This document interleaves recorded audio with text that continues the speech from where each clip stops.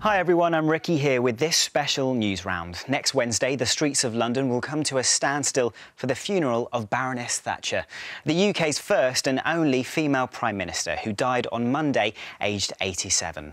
Margaret Thatcher led the Conservative Party and was Prime Minister from 1979 to 1990.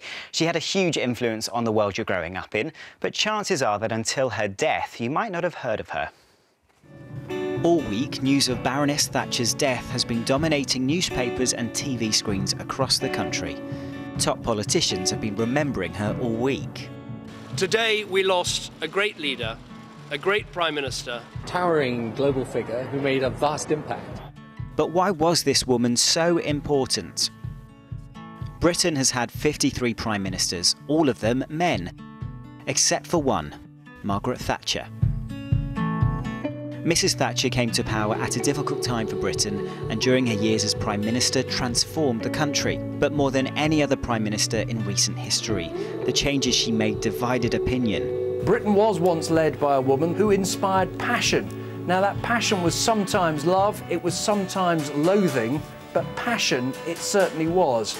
Even after her death, she's still causing big debates, and many of the changes she introduced helped shape the country and the world we all live in today. Now, the 1980s is famous for many things the music, the fashion, and the massive mobile phones.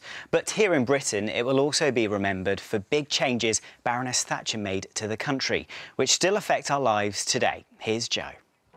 Back in the 1970s, before Margaret Thatcher came to power, the water coming out of your tap, the gas that cooks your dinner, and even your phone was supplied by the government.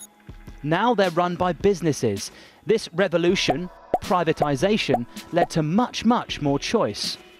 It was a very different country, really different. You'd only have one phone in your house. It was also owned by the government. If you wanted a different kind of phone, you had to go on a long waiting list before you'd get one. There wasn't all the kind of choice in the shops uh, that there is now, and a lot of things that are now done just through private companies on the high street were controlled through the government. Margaret Thatcher also oversaw something now known as the Big Bang. No, not the creation of the universe, but the transformation of this place, the City of London, into one of the world's most successful financial centres. Whilst many applauded Mrs Thatcher's policies for leading to more choice and financial success, others believe they benefited the wealthy over the poor and allowed businesses to operate too freely. But it wasn't just business people that Margaret Thatcher appealed to. Lots of ordinary working people, like residents here in Gillingham in Kent, voted for her in part because she would give them the right to buy their home. Back then, lots more people lived in houses that were owned by the council. She believed that if people could buy these houses, they would take better care of them and be happier with their lives.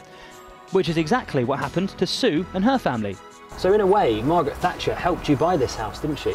Yeah, with her right to buy scheme, um, it enabled us um, to be able to buy it. We, it became affordable where it previously hadn't and um, it was good for our family because it gave us a sense of achievement and something to actually own and be proud of. Not everyone was so happy with the way that housing was dealt with by Mrs Thatcher, but as with many things, people can agree that the changes she made are still with us today. So, Baroness Thatcher had a big idea to reduce the number of things that were owned by the government, and that had different effects in different parts of the country. Here's Martin. When Margaret Thatcher came to power in 1979, Britain was facing big economic problems. State-owned industries like coal mining and steel making were losing money and had to be kept going with government cash. Margaret Thatcher believed the best way to improve the country's prospects in the long term was to put a stop to this, even if, in the short term, people lost their jobs. At one point, more than 3 million people became unemployed. One of the big industries that changed was coal mining. This shopping centre in South Yorkshire used to be the site of Cortonwood Colliery, a mine that employed hundreds of local people.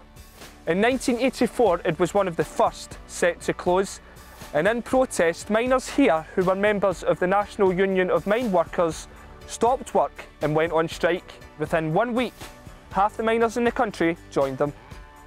But Mrs Thatcher wouldn't back down. She took on the striking miners and won. For her and many supporters, it was a major step towards getting the economy back on track.